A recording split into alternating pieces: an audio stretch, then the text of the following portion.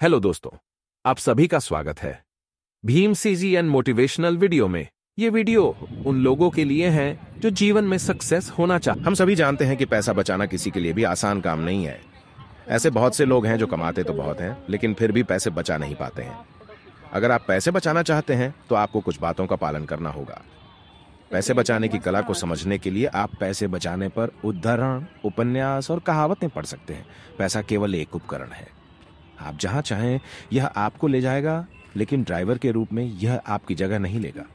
खर्च करने के बाद जो बचता है, उसे बचाकर मत रखो, बल्कि बचाने के बाद जो बचता है, उसे खर्च करो। बजट आपके पैसे को यह बता रहा है कि उसे कहाँ जाना है।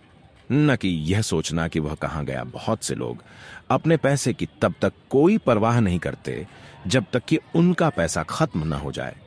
और अन्य लोग अपने समय के साथ भी ऐसा ही करते हैं। यह महत्वपूर्ण नहीं है कि आप कितना पैसा कमाते हैं बल्कि यह है कि आप कितना पैसा रखते हैं हाँ, यह आपके लिए कितनी मेहनत करता है और आप इसे कितनी पीढ़ियों तक रखते हैं।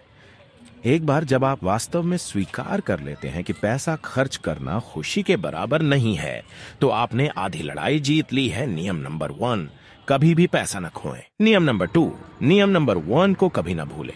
एक मूर्ख और उसके पैसे जल्दी ही अलग हो जाते हैं। पैसा कमाने की तुलना में पैसा बचाना बहुत कठिन है। आजकल पैसा कमाने के लिए बहुत सारे विकल्प उपलब्ध हैं, लेकिन पैसे बचाने के लिए आपको उसी के अनुसार योजना बनाने की ज़रूरत है। अमीर लोगों और गरीब लोगों के बीच यही मुख्य अंतर है। अमीर लोग अपनी आय का एक बड़ा हिस्सा बचाते हैं और उसका उचित निवेश करते हैं। आपको पैसे बचाने की कला समझने की ज़रूरत है।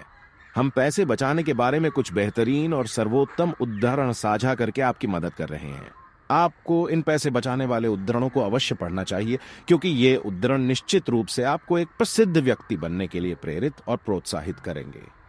ट्रेडिंग उद्धरण जो आपकी ट्रेडिंग में मदद करेंगे, प्रत्येक स्टॉक निवेशक के लिए निवेश पर, स्टॉक मार्केट उद्धरण, वॉरेन बफेट के उद्धरण और सफलता की कहानी जो आपको प्रेरित करेगी।